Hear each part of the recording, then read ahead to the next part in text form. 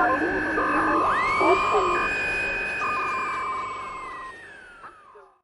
Honourable Leader of the Opposition. Mr. Speaker, it's time for the Prime Minister to stand up and do his job. Stand up. Stand up. Stand up. Stand up.